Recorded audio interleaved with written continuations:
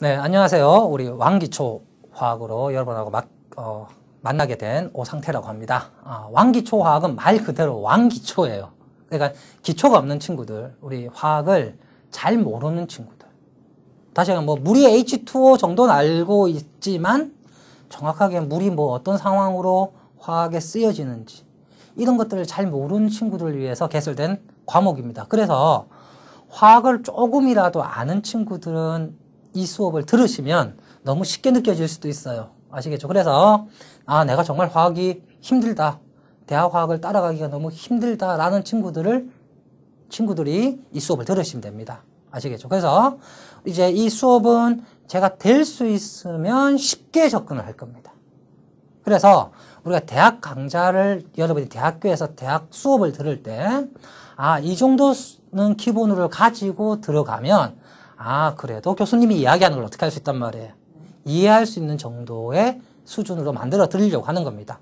아시겠죠? 그래서 너무 부담 갖지 마시고, 알겠죠? 아, 내가, 나는 화학을 전혀 모르는데, 이런, 이런 친구들은 어려운 과목을 들으시면, 어려운 과목을 들으시면, 처음부터 아예 모릅니다. 알겠죠? 그래서 그런 친구들을 위한 과목이니까 그걸 아시고 여러분들이 수업을 들으시면 되고요. 그래서 제가 이제 첫 시간부터 조금 조금씩 수업을 하겠습니다. 수업은 제가 길게는 안, 하겠, 안 하고 하루에 한 강의 핵심적인 이야기들이 한 두 개 정도 나오게끔 제가 강의를 할 겁니다.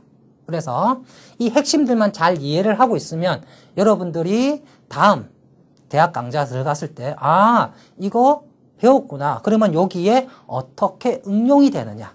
요걸 이제 여러분들이 그 다른 부분에서 이제 접근을 하면 됩니다. 아시겠죠? 네. 그래서 오늘은 첫 시간이기 때문에 제가 좀 짧게 이야기도 하고 조금 이렇게 이제 좀 크게 이야기도 좀 하려고 합니다. 아시겠죠? 한번 봅시다. 일단 우리가 화학이라는 걸 공부를 해야 돼요. 화학.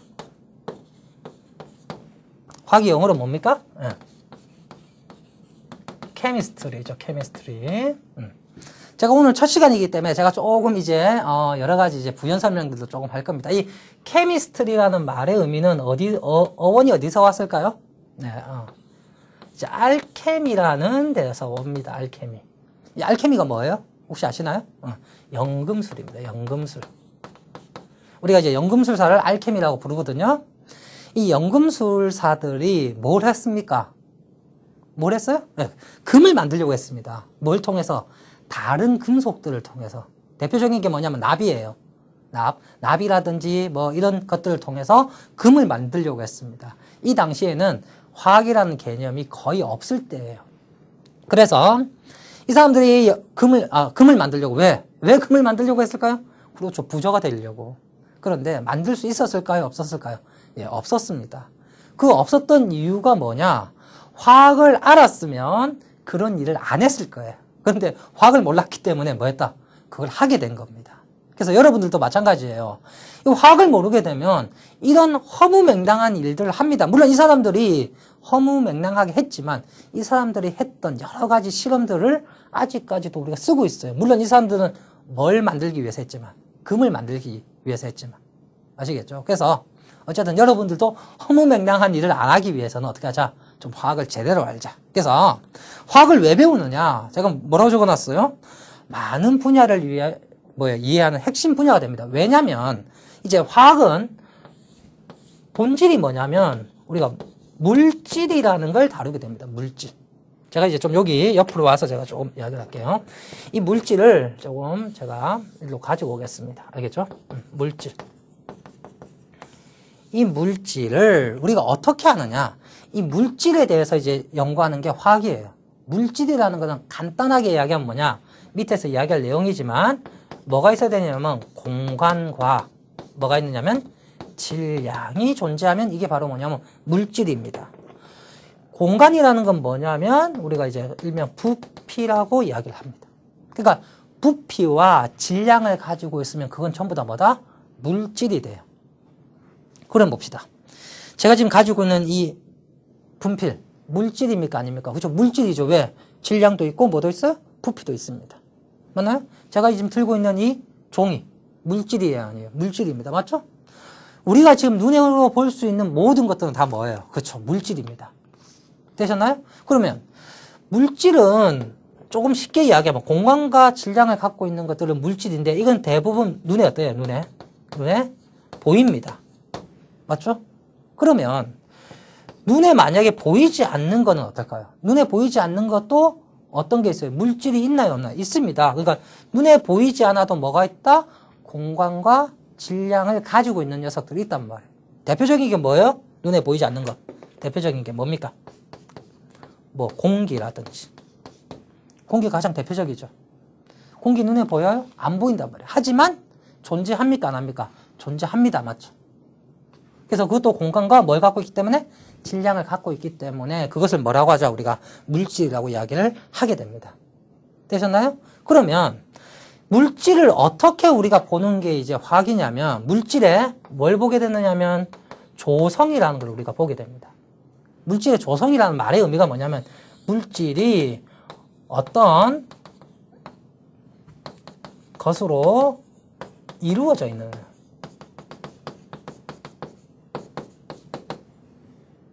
알겠나요? 그러니까 아 어떤 물질이 있는데 이 물질이 어떤 것들로 이루어져 있느냐는 거예요.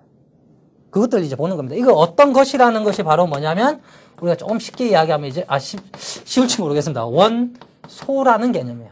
어떤 원소로 이루어져 있느냐 이겁니다. 제가 뒤에 가면 이제 이 이야기를 조금 할 거예요. 지금은 좀 그냥 아 그냥 저런 거구나 라고 생각하시면 됩니다. 그 다음에 이 물질의 뭐에 대해서 우리가 또 볼 거냐면 구조에 대해서 볼 거예요. 구조. 구조는 뭐예요? 아, 이런 원소들이 붙어 있는데 붙어 있는 형태를 묻는 거예요. 붙어 있는 형태. 그러니까 조금 뭐 약간 말을 적으면 결합의 뭐다? 어, 형태에 대한 이야기들을 우리가 하게 됩니다. 알겠죠? 그 다음에 또 하나는 뭐냐면 특성이에요. 특성.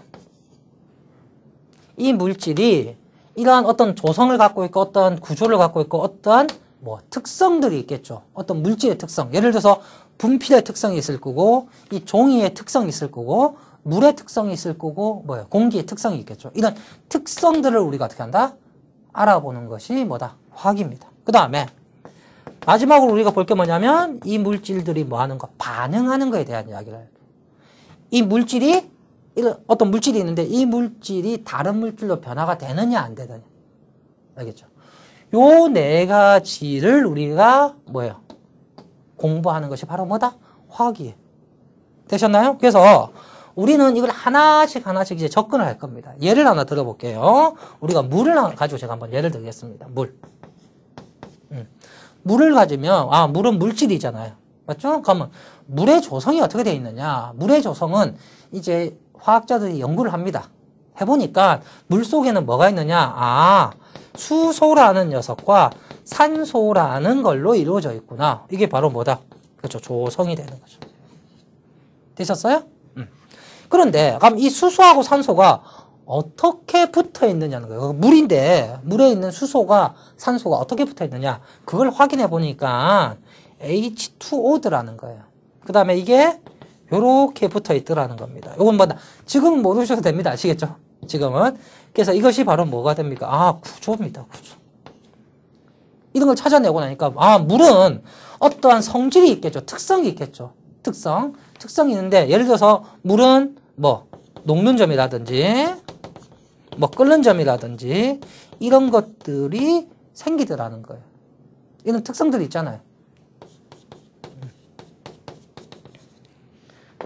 그 다음에 마지막에 이야기하는 게 뭐냐면 반응이에요. 반응은 뭐냐? 아, 이 물을 분해를 시켜보니까 뭐하고 뭐가 나오더라?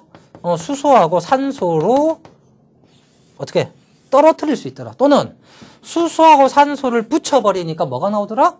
그냥 물이 나오더라. 이겁니다. 그래서 이런 반응에 대한 이야기들을 우리가 하게 됩니다. 그래서 이런 것들을 우리가 차근차근 이야기를 할 거예요. 어떻게 찾아내게 되고 아시겠죠? 어떠한 형태를 가지고 있고 어떠한 특징이 있고 어떠한 반응에 쓰여지는지 이런 이야기를 하는 것이 바로 뭐다? 화학입니다. 그래서 이제 화학이 조금 이제 어렵게 느껴지는 경우가 왜 그러냐면 이 화학에 쓰이고 있는 이 물질이라는 것이 물 하면 물은 눈에 보여요 안 보여? 보입니다. 그런데 우리가 지금 이야기하려고 하는 조성, 구조, 특성, 반응 이것들은 눈에 안 보이는 물에 대해서 이야기를 하거든요. 그러니까 뭐냐면 물은 있는데 물 하나를 여러분한테 보여드릴 수가 제가 있을까요? 없을까요? 예, 없습니다. 실제로는. 왜? 눈에 안 보입니다. 그 안 보이는 물이 이렇게 생겼대요. 이렇게. 아, 정말 이렇게 생겼는지 안 생겼는지 안 보이잖아요. 그러니까 어렵다는 거죠. 여러분이 보고 아 분필은 이렇게 생겼습니다 라고 제가 이야기하면 여러분이 눈에 보이니까 어때?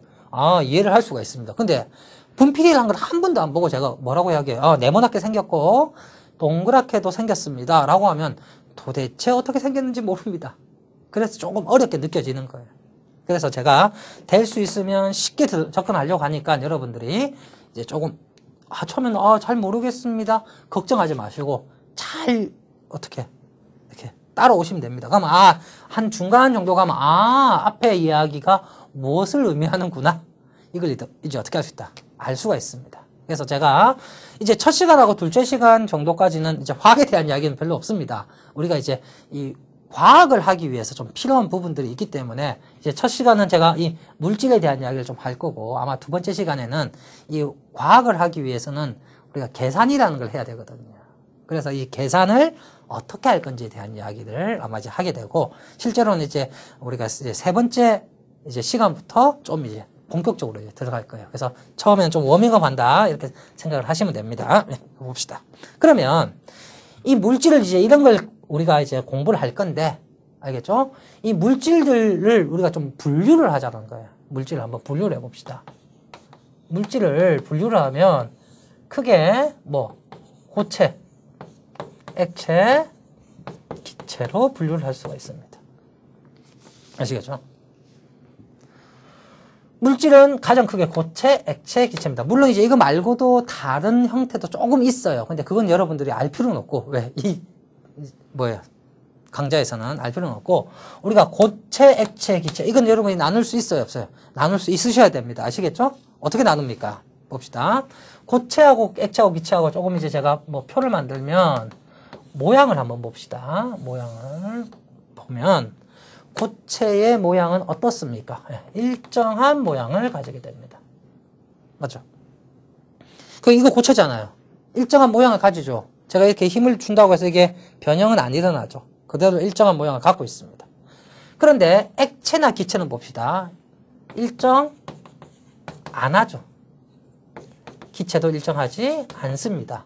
그러니까 액체의 경우 생각해 보세요. 액체의 경우는 컵에 물을 담으면 컵의 모양대로 액체가 어떻게 생 어, 액체 모양이 만들어질 거고 만약에 삼각형의 컵에 담으면 삼각형의 모양 그릇에 담으면 그릇의 모양에 맞게끔 어떻게 됩니까? 모양이 변형이 일어나죠. 이해가 되시죠? 모양의 변형이 일어난다라는 거. 그 다음에 기체도 마찬가지겠죠? 풍선에 담그면, 담으면 풍선의 모양을 만들겠고 알겠죠? 동그랗게 만들어질 거고 지금 이런 뭐예요? 방 안에 있다 기체가 그럼 방에 있는 모양을 그대로 아마 유지를 할 겁니다. 알겠죠? 그래서 이런 걸 이제 우리가 알 수 있고 차이점. 그 다음에 부피는 어떨까요? 부피. 고체의 부피는 어때요? 원래 뭐라고 했으면 지금 공간과 질량을 가진 게 물질이라고 했으니까 우리가 이제 공간의 형태를 한번 보자는 겁니다. 고체의 부피도 일정합니다. 다시 한번 고체가 이 부피가 변하지가 않죠. 어디에 갖다 놓아도. 액체는요. 어, 액체도 일정합니다. 모양은 변하죠. 모양은 변하지만 그거의 양은 변해요? 안 변해요? 안 변하죠. 어디에 담든지 양의 변화는 없습니다. 그런데 기체는 일정하지 않습니다. 왜? 기체라는 녀석은 어떻게 될 수 있냐면 서로 붙을 수가 있어요. 서로 가까이 올 수가 있습니다. 멀리 떨어질 수도 있고. 그래서 기체는 모양이 일정하지 않습니다. 알겠죠? 일단 요거 두 개만 우리가 알고 있어도 뭘 할 수 있어요? 고체인지 액체인지 기체인지를 어떻게 할 수 있다 우리가 나눌 수가 있는 거예요. 그러니까 우리는 지금까지는 여러분 이렇게 했을 거예요. 아마 막연하게 고체, 액체, 기체로 여러분들이 생각을 하셨을 겁니다. 맞죠? 어떻게? 아 그냥 이거는 고체다. 맞죠? 뭐예요? 물은 액체다. 왜 액체냐? 이런 뭐가 있기 때문에 조건이 존재하기 때문에 그렇습니다. 알겠죠? 음. 그래서 일단 요 두 개만 먼저 기억을 이해를 하고 계시면 되고 그 다음에 고체, 액체, 기체는 보세요. 일단은 우리가 이제 이 고체, 액체, 기체를 볼 때 고체는 이렇게 생겼잖아요. 이게 지금 모든 물질, 그러니까 고체를 이루고 있는 어떤 물질이 있을 겁니다. 이렇게 있겠죠? 요것들이 요렇게 생겼을까요? 아니면 제가 색깔을 좀 바꾸어서 해볼게요. 이렇게 생겼을까요? 지금 분필을 이루고, 있는 어떤 물질이 있겠죠. 이 물질이 이렇게 있을까요? 이렇게 있을까요? 한번 생각해 보세요. 이렇게 있을까요? 이렇게 있을까요? 우리가 보통 생각하면 어떻게 있다? 아, 이렇게 있을 것처럼 보입니다. 실제로는 이게 아닙니다. 실제로는 어떻게 있냐? 이렇게 있어요. 어, 어떻게 이렇게 됩니까? 예. 왜냐면 요거하고 요거 사이에는 약 간의 뭐가 있냐면 틈이 있어요. 그래서 우리가 물질은 우리가 불연속적으로 존재합니다. 불연속적으로 실제로는. 그러니까 우리가 눈에 보이지 않는 우리가 눈으로선 도저히 알 수 없는 뭐예요? 어떤 간격이 조금은 있습니다. 알겠죠? 이 사이에 뭐가 생겨 있느냐? 요 사이에 다 제가 이렇게 그리면 안 되지만 요 사이에 이렇게 뭐가 있느냐면 요건 아니니까요. 인력이라는 게 존재합니다. 인력. 그러니까 서로 뭐 하고 있다? 잡아당기는 힘이 딱 있어요. 그래서 이 잡아당기는 힘 때문에 어떻게 말이에요? 이렇게 딱 고정이 되어 있는 겁니다. 이 힘이 없으면 이제 어떻게 된다? 다 떨어져 나갑니다. 고체든 액체든 기체든 상관이 없습니다. 알겠죠? 그런데 고체하고 액체의 경우는 이 인력이 어떻냐면 요걸 이제 우리가 좀 이제 뭐 입자라고 제가 이야기를 할게요. 입자의 경우는 어떻게 되냐? 이거의 경우는 거의 어떻게 되냐? 어떻게 돼 있다? 좀 뭐 촘촘히 요거는 뭐 쌓여 있다라고 이야기할 수 있고요. 요것도 이제 어쨌든 응집이 되어 있습니다. 그런데 고체보다는 액체가 약간 어떻다? 이 간격이 어떻다? 조금은 넓습니다. 알겠죠? 그러면 어떻다? 촘촘하지 않기 때문에 약간 뭐가 생길 수 있어요. 그러니까 요거는 뭐가 생긴다? 예, 유동성이 존재를 하게 되고 이건 유동성이 어때요? 없죠. 흘러가지가 않죠. 액체는 뭐 할 수 있다? 흘러갈 수가 있는 이제 상황들이 만들어지게 됩니다. 그런데 여기서 이제 기체는 어떻게 됐냐면 이렇게 안 돼 있고 서로 어떻게 되느냐 서로 독립적으로 존재합니다. 기체의 경우는 요 간격이 그러니까 지금 이게 고체는 이 정도 되고 이렇게 생각합시다. 이건 고체라고 하면 액체는 어떻다면 이거보다는 약간 어떻다? 약간 많이 떨어져 있다라고 생각하시면 됩니다. 이렇게 그렇죠? 기체는 여기 액체면 기체면 어떻게 될까요? 기체면 기체면 하나는 여기 있고 하나는 이렇게 있습니다. 아시겠어요? 그러니까 기체의 경우는 완전히 독립되어 있습니다. 그렇기 때문에 이거하고 이거 사이에는 엄청난 공간이 존재해요. 그래서 뭐가 가능하다? 부피의 변화가 가능합니다. 이것들을 어떻게 할 수 있어요? 이렇게 모을 수가 있나요? 없나요? 모을 수가 있습니다. 그래서 제가 이것들의 내용들을 그 앞에 이제 쭉 적어 놓았습니다. 맞죠? 고체의 경우는 모양과 뭐 부피가 가진다. 이렇게 이제 이야기들을 제가 지금 하고 있는 겁니다.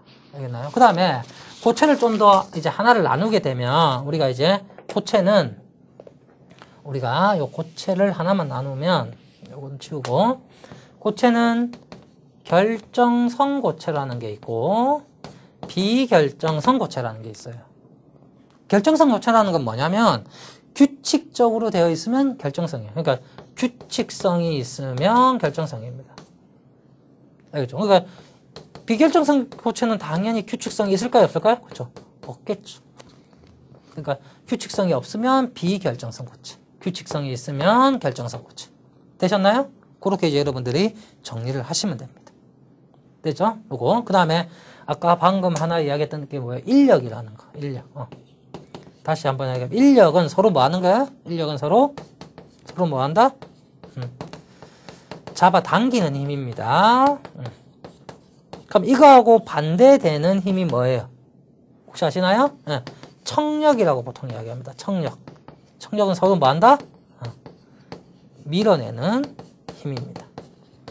아시겠죠? 그래서 인력과 청력이라는 게 존재하고 일반적으로 우리는 이제 인력에 대한 이야기들을 많이 할 거예요. 물론 청력에 대한 이야기도 합니다. 지금 지금은 인력에 대한 이야기를 하는 거예요. 서로 뭐가 생겨 있기 때문에 이거하고 이거, 이것들 사이는 전부 다 인력이 존재하기 때문에 이렇게 어떻게 할 수 있다?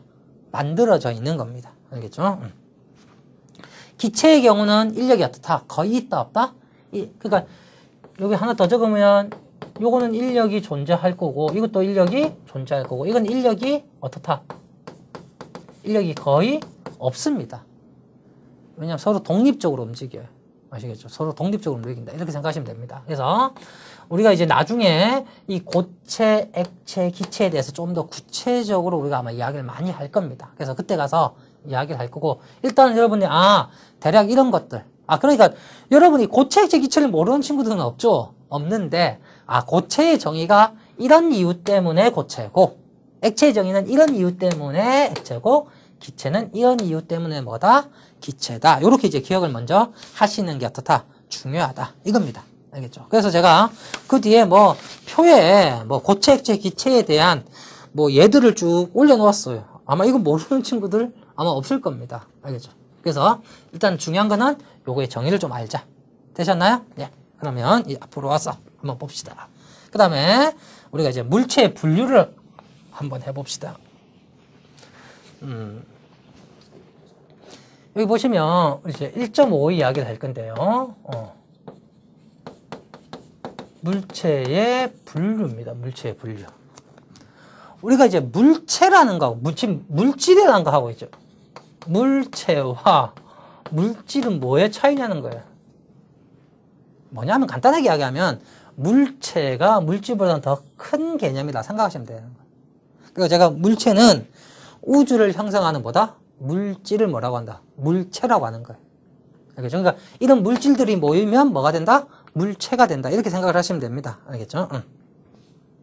그렇게 생각하시면 되고 우리가 이제 아까 물질은 제가 뭐라고 했습니까? 뭘 갖고 있어야 된다? 다시 한 번 더 정리를 하면 네, 부피하고 뭐가 있어야 된다? 네, 질량이 있어야 된다. 됐죠? 음. 그 다음에 물질은 부피하고 질량이 있으면서 또 뭐가 뭐가 중요하냐면 물질은 제가 거기 뭐라고 적어 놓았어요. 뭐가 하다? 네, 성분비가 뭐하다? 네, 일정하다. 이겁니다. 이게 뭐냐면 우리가 물질이라고 부르는 것들의 특징이 뭐냐면 부피와 질량을 갖고 있는데요. 이것들은 항상 성분비가 일정합니다. 무슨 소리냐면 예를 들어서 물이에요. 물 한번 예를 한번 봅시다. 물은 항상 어떻게 되어 있느냐? H2O라고 되어 있거든요. 그게 뭐냐면 한강에 있는 물이나 낙동강에 있는 물이나 저 영국에 있는 뭐 템즈강에 있는 물이나 미국에 있는 물이나 다 물은 뭘로 되어 있다? 그렇죠. H2O로 되어 있어요. 되셨나요? 그러면 아니 그러면 H2O가 아닌 예를 들어서 이런 게 있다라고 합시다. H2O2라고 합니다. 만약 이런 형태가 존재한다. 그럼 이거는 뭐단 말이에요? 이거는 물이 맞다 아니다. 물이 아니고 어떤 물질이다. 물과 다른 어떤 물질이 되는 거예요. 아시겠죠? 그러니까 우리가 이야기하는 예를 들어서 우리가 물이다 또는 산소다 수소다라고 이야기하는 것들은 무조건 어떻게 돼 있다? 성분이 똑같습니다. 어디에 있든지. 아시겠죠? 그래서 우리가 이 성분이 일정한 형태들을 우리가 전부 다 물질이라고 하고 성분이 다르다? 그럼 어떤 물질이다? 서로 다른 물질이 되는 겁니다. 그거 물 중에서 이런 물은 없어요. HO라고 생긴 물도 없고 알겠죠? HO2라고 생긴 물도 없습니다. 기타 등등 없다라는 거. 무조건 어떻게 돼야 된다? H2O가 돼야 된다. 라는 겁니다. 아시겠죠? 이렇게 그렇게 되고 이제 우리가 아까 물질을 크게 어떻게 나눴어요? 고체, 액체, 기체로 나누었죠. 그거는 우리가 물리적으로 나눈 거고 우리가 조금 화학적으로 접근을 해서 우리가 좀 나누어 보자라는 겁니다. 이제 그 이야기를 좀 이제 할 건데 일단 그거 하기 전에 우리가 물질은 성분비가 다 일정하다고 했는데 여기서 보시면 이 물질에는 또 두 가지의 물질로 우리가 나눌 수 있어요. 무슨 물질이 있냐면 균이란 물질이 있고 불균일한 물질이 있습니다. 이게 뭐냐면 요거는 이제 필요 없는 부분이니까요. 균이란 물질이라는 말과 뭐요? 불균이란 물질이라는 말은 뭐냐면 이겁니다. 지금 제가 거기 적어놨어요. 뭐라고 해요? 외관상 균이라며 전체적으로 동일한 뭐야 성질을 가진 물질. 알겠죠? 그러니까 균이란 물질은 좀 쉽게 이야기하면 뭐예요? 하나의 성분이에요. 하나의 성분. 하나의 하나의 물질 성분이라고 하나의 물질입니다. 예를 들어서 뭐다? 아, 물이다 또는 얼음이다. 알겠죠? 뭐 제가 그 밑에 뭐 금이다. 이런 식으로 한 녀석으로만 존재하는 것은 균이란 물질이에요. 그러면 불균이라는 물질은 뭐다? 그 불균이라는 물질은 뭐예요? 뭘로 돼 있다? 두 가지 이상의 뭐예요? 물리적인 물리적으로 구별되는 상이 있는 거예요. 그러니까 뭐가 있는 거예요? 음, 구별되는 뭐가 있다? 음, 상이 존재하면 뭐다 그게? 불균일 물질입니다. 그러니까 만약에 물하고 얼음이 따로따로 있으면 균일하다고 이야기합니다. 그런데 만약에 얼음물이에요. 그러면 구별되는 상이 있죠. 얼음과 물이 어떻게 돼 있어요? 서로 같이 섞여 있잖아요. 다른 상이죠. 이건 고체고 이건 뭐예요? 액체잖아요. 맞죠? 이런 경우에 뭐다? 우리가 불균일한 뭐다?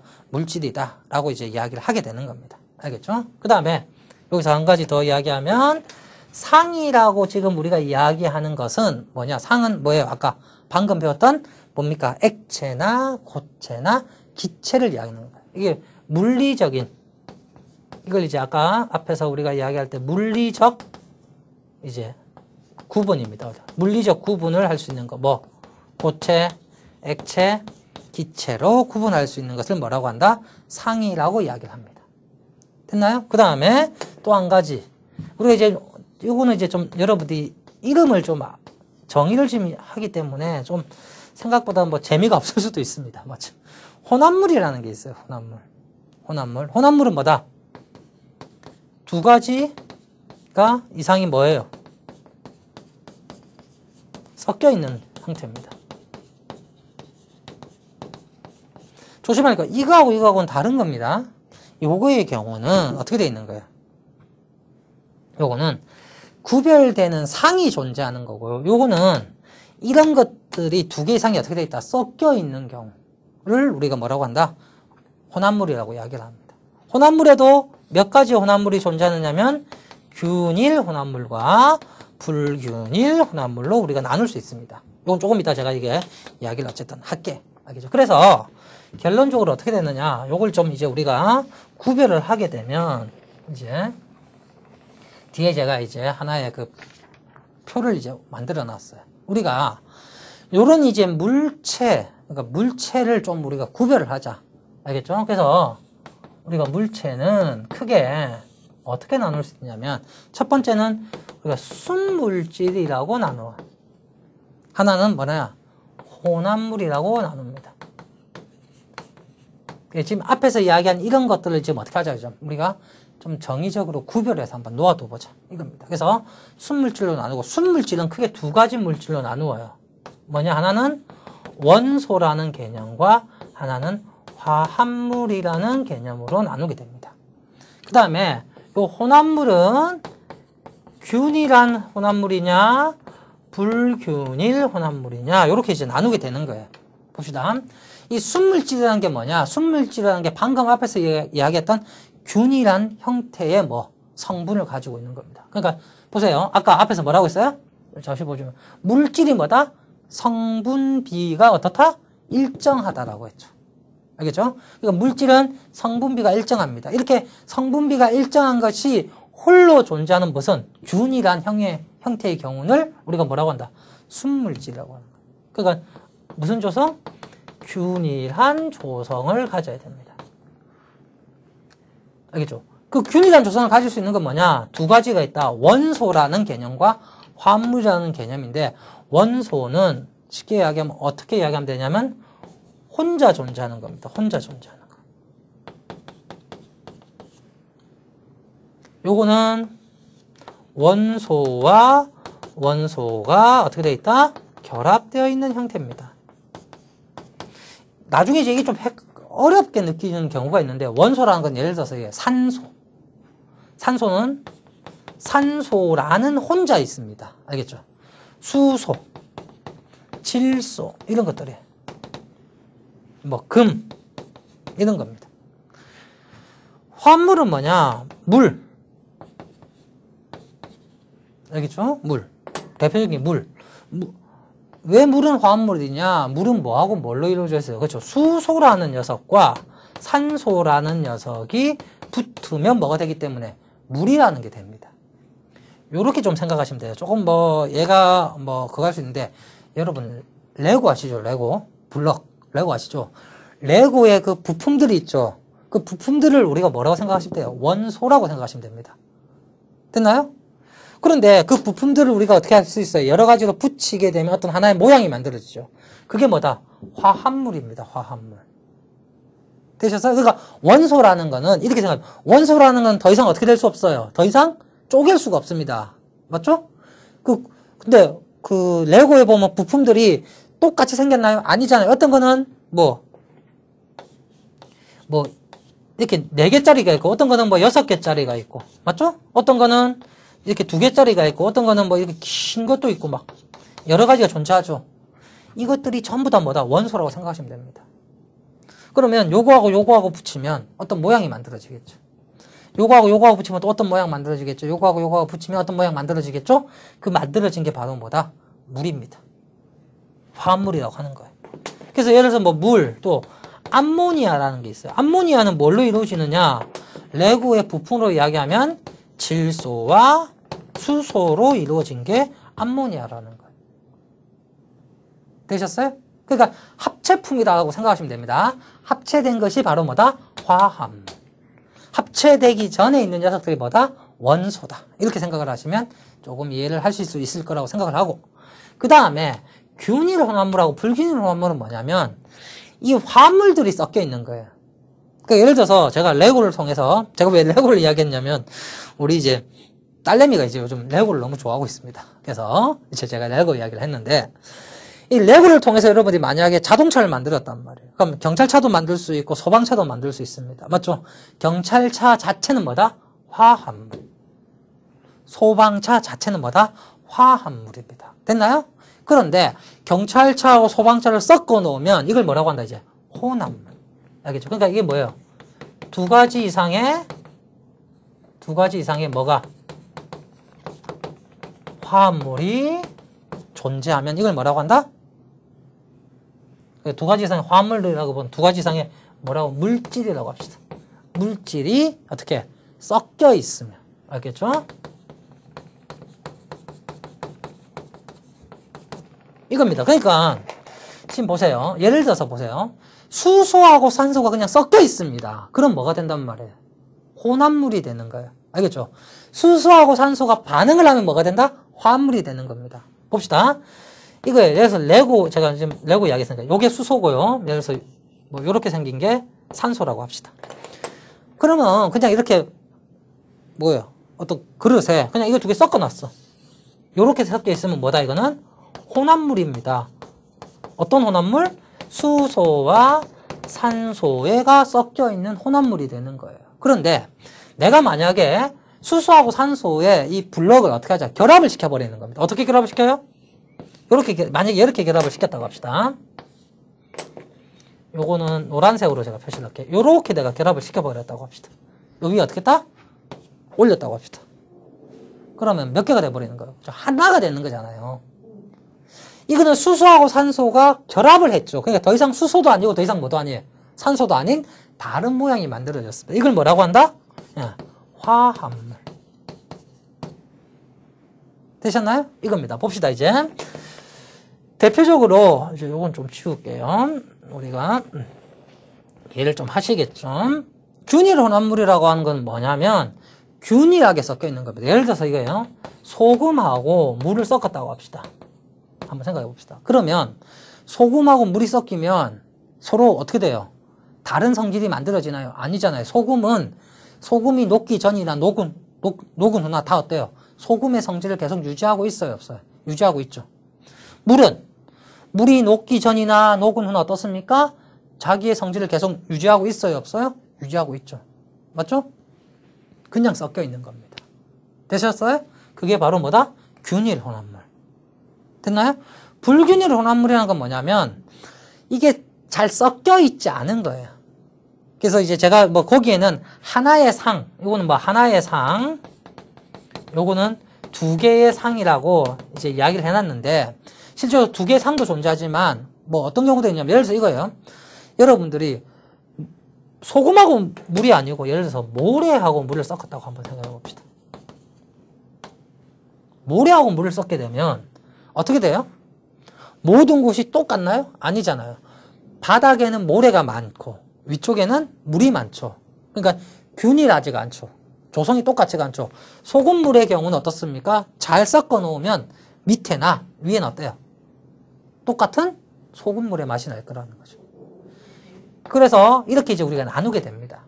됐나요? 한번 봅시다. 이제 정리를 합시다. 음, 이제 제가 첫 시간 이야기는 요 정도에서 제가 마치려고 하는데 일단 한번 정리를 하게 되면 우리가 일단은 여기서 이쪽에 정리할게요. 다시. 아까 물질을 크게 고체, 액체, 기체로 나눕니다. 됐나요? 요건 아시겠죠?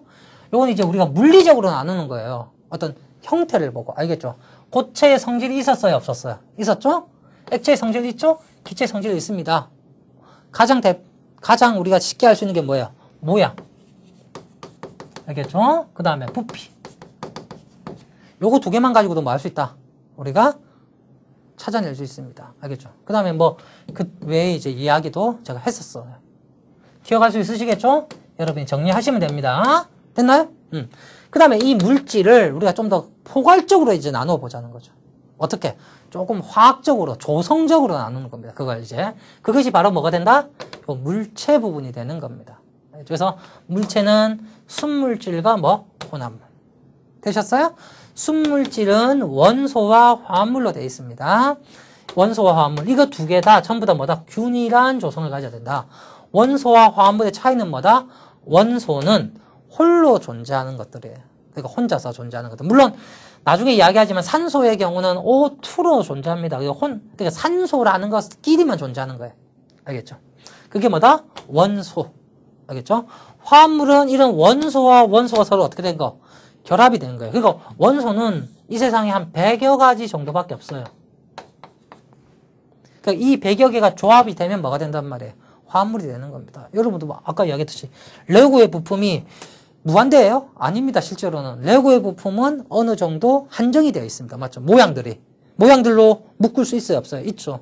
근데 그 한정된 모양의 형태를 가지고 화합물을 어떻게 만들 수 있어요? 엄청나게 많은 것들을 만들어낼 수 있는 겁니다. 아시겠죠? 그래서 어쨌든 화합물. 그 다음에 혼합물이라는 것은 이런 순물질, 그러니까 원소나 화합물이 어떻게 되어 있는 거? 서로 섞여 있는 것이 뭐다? 혼합물. 이 혼합물 중에서 잘 섞여 있는 것들. 그걸 뭐라고 한다? 균일 혼합물. 알겠죠? 그 다음에 잘 섞여 있지 않은 형태들. 무슨 혼합물? 불균일 혼합물. 되셨나요? 예. 일단은 이렇게 이제 정리를 합시다. 그래서 여러분들 이제 화학을 하기 위해서는 일단은 아, 우리가 지금 공부할 내용은 대표적으로 공부할 게 바로 뭐냐면 이거하고 요겁니다. 요 이야기를 거의 다 할 거예요. 그래서 원소가 뭐냐, 화합물이 뭐냐를 정확하게 예측을 하는 게 일단 중요합니다. 지금은 좀 어려울 수도 있어도 어떻게 한다? 나중에 아마 되시면 아 이런 게 원소구나 이런 게 화합물이구나 라는 것을 충분히 알 수 있으니까 첫 시간은 이 정도 여러분들이 정리를 하시면 될 거예요. 됐죠? 어 그리고 다음 시간에는 이제 우리가 화학을 뿐만이 아니고 우리가 이제 과학이라는 걸 하기 위해서는 항상 뭘 해야 되냐면 계산이라는 걸 해야 됩니다. 그래서 이 계산을 어떻게 할 거냐? 갑자기 뭐 저기 산수 시간처럼 됩니다. 다음 시간은 그렇지만 꼭 필요한 부분이기 때문에 여러분들이 아니 뭐 산수잖아 그렇게 생각하지 마시고 알겠죠? 물론 그 속에서도 우리가 화학에 좀 필요한 것들이 있어요. 그래서 그런 것 이야기는 조금 할 거니까 잘 다음 시간에도 들으시기 바랍니다. 아시겠죠? 예, 그러면 첫 시간 마치도록 하겠습니다. 수고하셨습니다.